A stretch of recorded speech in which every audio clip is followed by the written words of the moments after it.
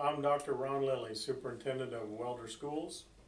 I would like to share with you some information regarding the upcoming bond election and what it's going to be used for.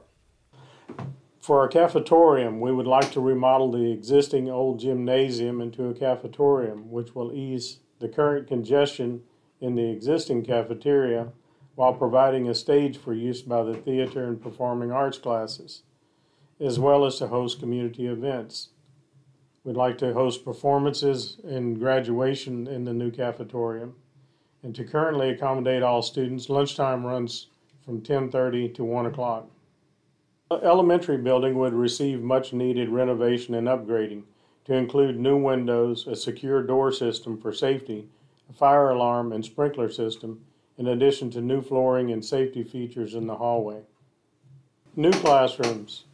We propose to build a new classroom building close to the existing middle school that would house the fifth and sixth grade classes.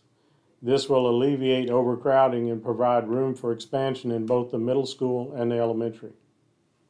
The existing pavilion would be enclosed into a second gymnasium.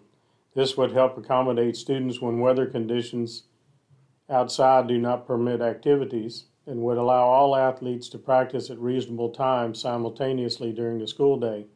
Currently, we have 10 groups of students that need to use the gym during eight school periods.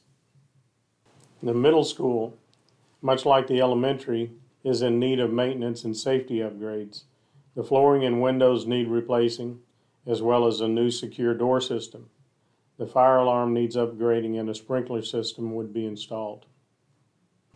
In addition to what I've already listed, the high school would have flooring replaced, a new safety conscious entry system would be installed, and a sprinkler system would be installed. The bus barn would be expanded to approximately double its current size, allowing for all equipment and vehicles to be stored indoors out of the weather, which will increase their lifespan. Also, the 4 H barn would receive new roofing and repairs as needed and other campus improvements would also be installed as budgeting allows.